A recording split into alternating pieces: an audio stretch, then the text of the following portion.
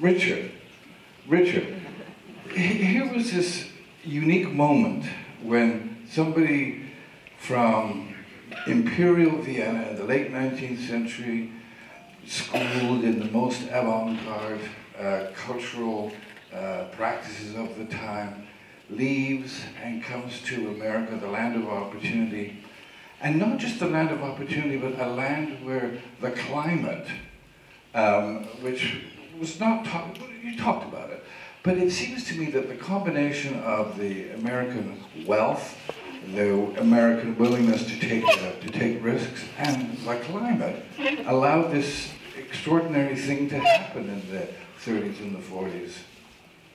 Absolutely. I mean, uh, you could say that in, in, North America, this axis of Europeans. You could say that uh, in, uh, in, closer. Okay. Can you hear me now? Yeah. Uh, okay. Um, you could say that in North America, the this kind of axis of people coming from Europe, but particularly in this period from Vienna, actually through Chicago and then through the influence of architects in Chicago out to Los Angeles, produced some of the most important architecture, or probably the most important architecture, in my opinion, in the 20th century. Um, uh, I know when I was a student of architecture, the first architect that captured my curiosity and fascination, both as a theorist and as an architect, was Adolf Loos. And then probably, in terms of contemporary architecture, uh, uh, Frank Gehry, who was not actually, because I'm old enough, he wasn't actually that well known. Um, and so for me, I tried to connect the dots between those two people, uh, and the dots then run through, you know, Wright, uh, Neutra, uh, Schindler, and then all the, all the generation of people that came out of Neutra's office uh, that were teaching at UCLA uh, and were the teachers of Frank Gehry. So, uh, so you, you have this whole, this whole set of generations. Now, when I was coming up, Schindler was considered the more avant-gardist and um, interesting figure because actually the architecture of his houses is a little bit more experimental in some ways. But what I think this film revealed, which is, uh, is extremely important and it's woven through the film very well, and you just alluded to it, is uh, Neutra's relationship uh, to the landscape. Uh, and in fact, the film starts and ends there with this cemetery, which I, I did not know about. Um, so, uh, and this interpenetration of architecture and the landscape, which is now being investigated through neuroscience and other things about, uh, in, in, terms of the, uh, its effect on human consciousness. And this is something that was very important to Neutra, and I think uh, in the previous generations was a little bit under discovered or known. So, Richard, could could Neutra have had the career that he had in the U.S. if he had stayed in Europe? I mean, it seems to me that, that, that there was something about the chemistry between him, what he knew, what he wanted to do, and what he could do that, that, that couldn't have happened anywhere else. I mean, if he had come to Canada, for no, example. No, but it's also timing, because when he came in this period in the, in the, in the, you know, and, had these opportunities in the 20s and 30s, there was that openness, uh, particularly in Los Angeles. There were a lot of other uh, European emigres who would come there and, and film and music. So there was a there was a there was the physical there was the you know the environmental uh, physical climate, but there was also the culture. Mendelsohn, who we had worked with, only came after had came during the, the, the you know during the, the, Nazi era. He had to escape, and he was never able to reconstruct his career uh, at the level that he had had it in Germany, in the United States, because he didn't have he didn't have that that set that network. So that it's it's not only the opportunity of, of, of, the United, of those parts of the United States at the time, but it's also the timing. But Richard, talk to us a little bit about the fact that, you know, you, you've grown up in Vienna, they have winter there, they have snow, they have bad weather, and then you suddenly find yourself in Southern, California where the sun shines every day, and it's always beautiful, and it's always warm, and suddenly it's sort of like all those technical demands that architecture has to meet you know, short of gravity, um, have been removed from the equation and you're free to do what you want to go crazy. And you look at something like the Kaufmann House and some of the other ones, and you, you sort of sense that this man had, had a, suddenly had a freedom to do things that he could never have done in Europe. Exactly. I mean, and, the Schindler houses are made out of cardboard, and you know, and, and, and you know, sticks. I mean, Wasn't it Schindler's house that collapsed uh, uh, the first pieces winter? of it, yes. pieces of them, know.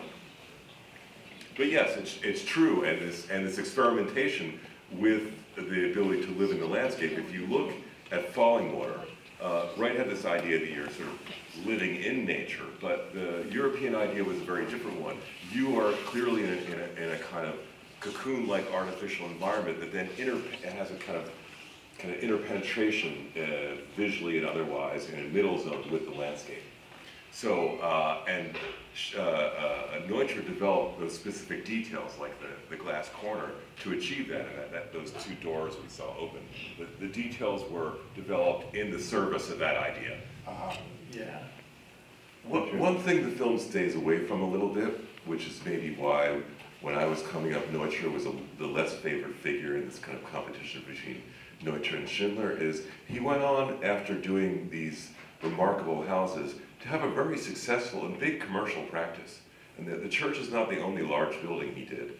Um, and uh, there were a lot of big building, you know, institutional buildings, commercial buildings, and so he built a, uh, a more successful, but a more commercial uh, practice, and some of the larger buildings were, were not considered bad works of architecture, but like any commission that has to deal with difficult, you know, institutional or, or, or, or, commercial demands, they were not as, as adventurous, right?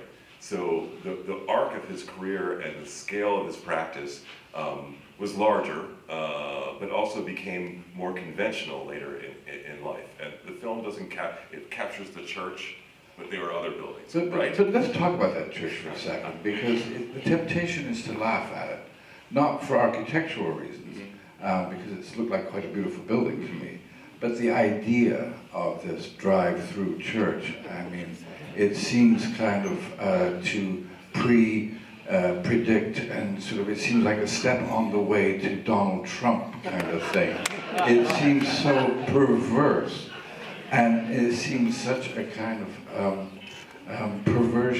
Christianity. I don't know why. I guess it's a good thing to be able to go to a church service and sit in your car. Well, uh, actually, Philip Johnson topped that because he did a drive-in one. Yeah, Right. the big So- glass one. Yes, yes. So, so it, it kept, this idea kept going, right? And now you, now you have very little architecture with the mega church, but you still have, the, the, But- pro- the program has become even more perverse. But I mean, when you look at those early buildings and you see that there's clearly some kind of um, idealistic thinking, I mean, this desire, maybe not to meld with nature, but a deep awareness of nature, a deep sensitivity to it, uh, to architecture put in the service of these utterly banal programs. Um, is, is that, I mean, is this the fate that all architects, successful architects face? That they have, to, is this what happened to Neutra? Well, the, I we have some exa- some spectacular examples here. If you think about, you know, uh, the, design of space for hospitals or care facilities, the same principles you see at work in those houses should be pursued and is being pursued for those. We have we have spaces where you know where there are therapeutic spaces in hospitals, where there are outdoor terraces. There's a long tradition of these. I'm not saying we're always That's not it. hard to justify. What? That's, those kinds of things aren't hard to justify. No, they're important. Yes, of course. Yeah. I, I'm just saying, uh, I mean, when it gets to the point where, where you, you know, you, you, it's too much to ask uh, somebody, a worshiper, to get out of his chur- uh, out of his car uh, to go into the. I mean, surely there's something wrong with that picture. Well, no matter how beautiful the can eat in architecture may car, be. why can't you pray in your car, right? There, there are a lot of reasons I, I would say. And, and, and, and in this period, many other things happen in cars. So, Well, I think we should. I think we should try to figure out from PJ here. I mean, you had to do a lot. I mean, I, I hadn't realized how international Neutra's career was. I think of him, I think of California, but that's not the case. Um, right, I, I think like the big difference for me between Neutra and Schindler was that um, Schindler got out of Austria before World, World War One, and he was working with Frank Lloyd Wright. Neutra was in the war, so some of his, uh, uh, and I, I have interviews of people talking about how he was at the outpost and he would, so he had to design a certain thing to keep the, you know, enemies away and be alerted when they're coming. And then after the war ended, he studied under the landscape architect in uh, Zurich, uh, Gustav Ammann. And then Neutra went to Berlin and he was part of the whole kind of uh, the Bauhaus and the simple designs and the be efficient with materials. And Schindler was already in California.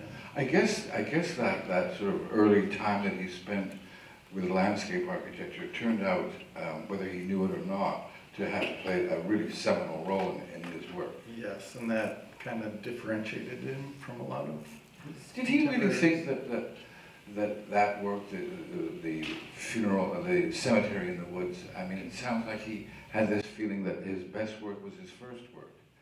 I mean, some architects are in that. position. For example, Moshe Safdie, I shouldn't say this, but Go ahead. Go ahead. I mean, Habitat. Habitat is the one, you know, great thing that he's done. I, I would say, as much as I love that man, I think he's a wonderful human being.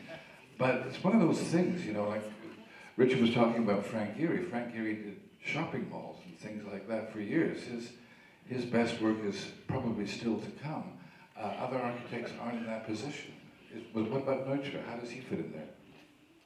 Um, well, Barbara Lamprecht, who wrote the Taschen book, Neutra Complete Works, uh, she didn't even include the Luckenwalde Cemetery. Really? And uh, she realized later that that was probably his most important work. And when I first met Barbara, I was like, okay, I'm doing this Neutra film, and I want you to be in it. And what is the most important thing that you would want to talk about about Neutra? She said his uh, biorealism and neuroscience and, and that. And, I and then I said, if there is a God, where would you want to tell this story? And she said that the Luckenwalde Cemetery. So I made that happen, and that having her involved just opened a lot of doors. And also as a director, then I didn't have to know everything because you get these people that are the experts, and you go, okay, rolling. What's really interesting about the design, what's really interesting about the design of the cemetery and just that as a program and a theme and the kind of, uh, the, the fact that for whatever reason, whatever requirement, it, it was designed in a more traditional style. Uh, what's interesting about it is that the, the moment we associated with the height of Neutra's career with that kind of white, uh, sleek, crystal-like architecture um, is very hard to maintain in time. Uh, you see when you when they are doing the renovations, you think of these things made out of like um, you know uh, formica and ether, right? Uh, yet they're brick, and they and you see the stains on the wall, and it's very hard. It's it, that that that project. I don't know what how, what gazillion amount of dollars it costs for that that those people to restore the Kaufmann A lot of money. Um, but it's, it's like a large piece of furniture, then to maintain it in that pristine form Yep. is quite difficult. So I think what we realize when you see things like cemetery is they're, is they're really about marking the passage of time, right? Uh, and they are more, a lot, you know, even though it's a place where there's dead people, they, they have a kind of romantic aliveness to them that some of these kind of very, very high works of modernism from the, from the 20s uh, that, you know, it's odd that, that the son, they, they rebuilt the house and it became his kind of, of trapped in it for the rest of his life, right? Yeah. So, so there, there's, there's that as well, that there's a kind of, as you said, an idealism, so that architecture from the twenties and thirties, which is trying in its own way to be timeless, um, but, uh, but the, the cemetery actually engages the, the, the, the span of, of, of lives and humanity. And is allowed to grow and Right, change. right, It's right. part of the thing. Listen, you know what? We have to end now. I'm getting signals that our time is up. Thank you very much. Thank you, Richard. Thank you, great stuff.